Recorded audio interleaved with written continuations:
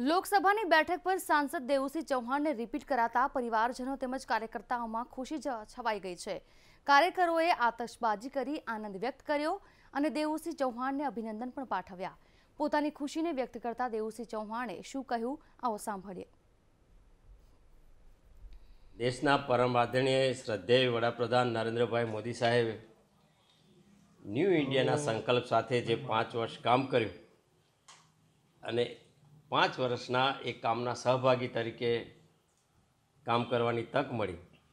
અને આજે ફરીથી શ્રદ્ધેય વડાપ્રધાન નરેન્દ્રભાઈ મોદી સાહેબ અને પરમ આદરણીય દેશના રાષ્ટ્રીય અધ્યક્ષ અમિતભાઈ શાહ સાહેબના આશીર્વાદથી આજે ભારતીય જનતા પાર્ટીના કાર્યકર્તા તરીકે મને ખેડા લોકસભામાં ઉમેદવાર બનાવ્યો છે ત્યારે હું નતમસ્તક થઈને બંને શ્રદ્ધેય નેતાઓનો આભાર માનું છું.